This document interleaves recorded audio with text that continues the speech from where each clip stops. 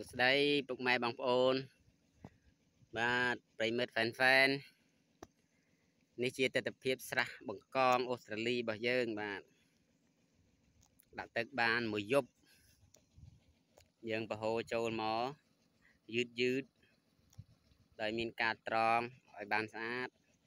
ហើយទឹកយើងចូលមកបានចិត្តលិចកំពូលជំរោគរបស់យើងហើយហើយថ្ងៃនេះទឹកហូរឆ្លងទៅអាស្រះតូចហ្នឹងនោះ បាទហើយប្រហែលជាស្អែកមួយថ្ងៃទៀតពេញស្រះហ្នឹងហើយពេញហើយឲ្យវាលិចដបូលនេះតិចតិចបានហើយព្រោះយើងដាក់កូនបកងតូច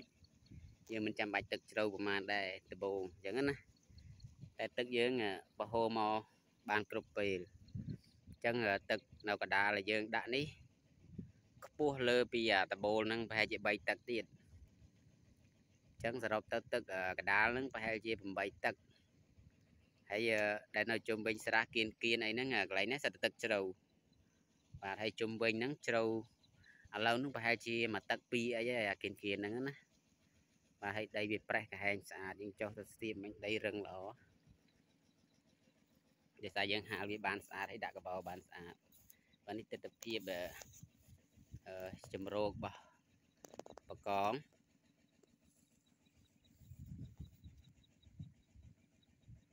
បាទនេះទិដ្ឋភាពជារោគបកងបាទវាស្អាតណាយើងទៅរៀបបានស្អាតហើយស្អែកនេះទឹកប្រហែលជាលិចហើយយើងវាគ្រប់នីវ៉ូដែលយើងចង់បានហើយហើយដោយសារយើងដាក់ដំបងជាកូនប្រកបទូចទូចអញ្ចឹងទឹកក៏វាមិនត្រូវកាត់ជ្រៅអីប្រហែលដែរព្រោះកូនប្រកងវាអាចតិចអីប៉ុណ្ណឹង បាទហើយទឹកកំពុងតែហូរចូលមកខាងស្រះទូចនេះហើយហូរយឺតយឺតដោយសារលូយើងដាក់ស្មើវាទឹកគាត់តែលិចលូបន្តិចវាហូរចូលមកបដើបដើបាទតែតែទឹកនេះវាចាល់ខ្លាំងវាហូរខ្លាំង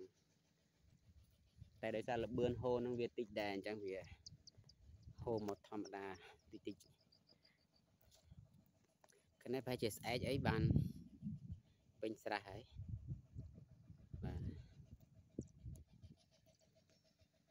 អានេះបងប្អូនជាទស្សនវិជ្ជាដែលយើងដាក់ទឹកចិត្តពេញនីវ៉ូហើយហើយ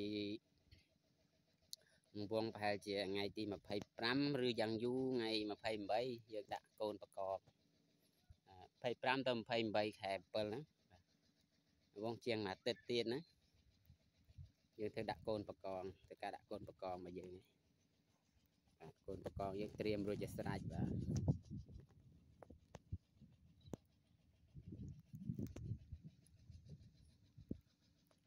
ហ្នឹងហើយថ្ងៃនេះបង្ហាញទស្សនវិជ្ជាស្រះបកងដែលយើងបានរៀបរួចរាល់បាទកុំភ្លេច like share subscribe ដល់ channel កសិករ page កសិករអ្នកមួយបាទ fan fan បាទមានព័ត៌មានមាន